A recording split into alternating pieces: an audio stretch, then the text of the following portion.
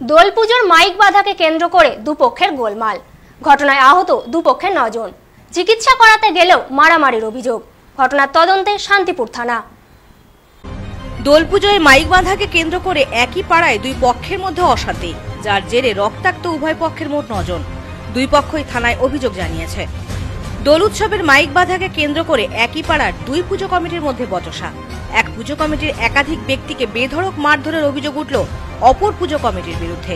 যদিও অন্য পুজো কমিটির পাল্টা অভিযোগ তাদেরকেও বেধড়ক মারধর করা হয়েছে। ঘটনাটি নদিয়ার শান্তিপুর স্টেডিয়াম পাড়া এলাকায়।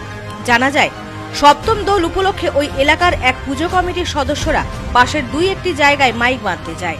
তখনই পাশের অন্য পুজো কমিটির সদস্যরা বাধা দেয়। এরপর শুরু হয় দুই পুজো কমিটির মধ্যে কথা কাটাকাটি। বচসা বেঁধে যায়। আচমকায় দুই পুজো সদস্যদের মধ্যে বেধড়ক মারপিট শুরু হয়। তোমার আমাদের বাড়ির পাশে একটা পাল্লুম হয়েছে তো ওটা তোমার রাত্রিবেলা চলে। এবার আমরা দুই ভাই মিলে মানে আমাদের বাড়ির পাশে একজনা যে মেরেছে সে কেস করেছে ওনার নামে। এবার আমরা দুই ভাই তাকে সা- তার হয়ে সাক্ষী দিইনি। এবার সাক্ষী দিইনি বলে আমাদের দুই ভাইয়ের রাগ। যে আমাদের বাড়িতে এসে কোনো গন্ডগোলই নেই। আমি তোমার হাটের থেকে এসে বাইরে এসে ঘুমিয়েছি ঘুম থেকে উঠেছি আর দেখি বা- বাইরে গন্ডগোল হচ্ছে আমাদের বাড়িতে ঢুকে আমাদের ভাইকে বাবাকে আমাকে সবাইকে মেরেছে। আর মাকে অবধি মেরেছে। তো ওরা বলল চোখ বাঁধে দেবো না। আমরা বলছিলাম, কেন? ওখানে চোখ বাঁধলে কী হবে? এই নিয়ে আজকে রাত্রে সকাল, বিকেলের দিক মালমুল খেয়ে মতলব খেয়ে এসে সবাই মেরেছে। আমাদের পাঁচজন ছজনকে মেরেছে। একটা পাড়ায় দোল হচ্ছিল আমাদের আমরা চোখ বাঁধতে গেছিলাম। ওরা চোখ বাঁধে দেবে না গায়ের জোর ওরা চোখ বাঁধে বারণ করলাম আমার সঙ্গে বাঁধিনি ওখানটায়। তা ওরা পরে এসে আমার চোখ খুলে দিয়েছিল, পাশে দিয়েছিল অনেক জায়গায় ওখান থেকে খুলে দিয়েছিল। খুলে দিয়ে আজকে দুপুরে মত খেয়ে আমাদের সবাইকে মেরেছে। এক পুজো কমিটির অভিযোগ, তাদের মোট পাঁচজন সদস্যকে বেধড়ক মারধর করা হয়েছে।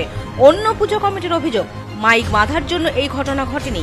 পুরনো রাগের কারণে আমাদের চারজনকে বেধড়ক মারধর করা হয়। রাত মেশিন চলে বলে ওর রাগ ওঠে। ওই ইয়ে অ্যাম্বোটিং মেশিন আচ্ছা। সাক্ষী দিনগুলো রাত আজকে দুলের দিন বাবাকে আমাকে ঢুকে দাদি মেরেছে মাথা ফেটে গেছে। আমাকে দাদি মেরেছে মাথা। দাদাকে বাবাকে লাঠি দিয়ে মেরেছে। বিনা দোষে মারলো কেন? বলে সাক্ষী দিনই বলে মারতে হবে? জিজ্ঞেস করতে চাই আমরা আমাদের কি কারণ? সাক্ষী দিনই বলে মারতে হবে এরকম ভাই কথা আমার ওই বাড়ির থেকে চাপাটা নাকি বের করে নিয়ে এসে দু একদিন এলো পাতারে কোপ মেরে দেয়। ওরা তুললে তুলতে পারে। ওদের সাথে দুই দিন আগে পরশু কালকে মাইক বাঁধানো একটা গেজিকে হয়েছিল এখানে পোলে পোলে পরে একই পাড়াবাড়ি দুটো পুজো হয়। দোল পুজো? দোল পুজো হয় সব পুজোই হয়। দুর্গা পুজো দুটো হয়। আমরা অনেকদিন বলেছিলাম যে পাড়ায় একটা মিটিং কল করো জেনারেল কল করো কেউ বসাতেও পারছে না এই নিয়ে মিটছেও না। এই ঘটনাকে কেন্দ্র করে রীতিমতন তুল কালাম সৃষ্টি হয় গোটা এলাকায়। এক পুজো কমিটির আক্রান্ত সদস্যরা শান্তিপুর হাসপাতালে এসে পৌঁছায়। তাদের প্রাথমিক চিকিৎসার চলাকালীন অন্য পুজো কমিটির আক্রান্ত সদস্যরাও শান্তিপুর হাসপাতালে এসে পৌঁছান। সেখানেও আবার দুপক্ষের মধ্যে শুরু হয় বচসা। অভিযোগ, চিকিৎসকের সামনেই আবারও মারামারি বেঁধে যায়। ওরা কি হয়েছে জানি না, আমাকে ডাকলো বাড়ি থেকে। ডেকে বলল, কি মিটিং হবে না, কি হবে? দেখি সব লাঠি সুটা নিয়ে এসে বাড়ি থেকে ডেকে এই পেট্রোল লিক দিয়ে এসে মারলো। চার পাঁচটা উপরে দশ বারোটা ছেলে। সবার হাতে বড় বড় মোটা মোটা লাঠি হ্যাঁ রড। দিয়ে আমাকে প্রথমে মেরে ফেলে দিল তারপরে আমার দুই ছেলেকে বাড়ির মধ্যে ঢুকে মারলো।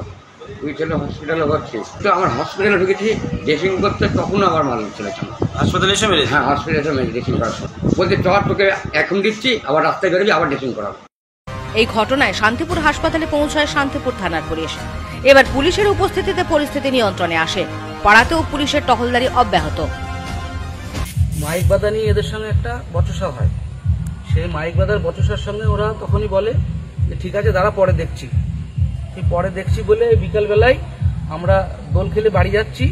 তখনই ওরা আমাদের সঙ্গে অশান্তি ঝামেলা করে। ঝামেলা করে ও বাড়ির থেকে চপার নিয়ে এসে আমাদের এই যে চার চারটে ছেলেকে বেড়েছে কোপ।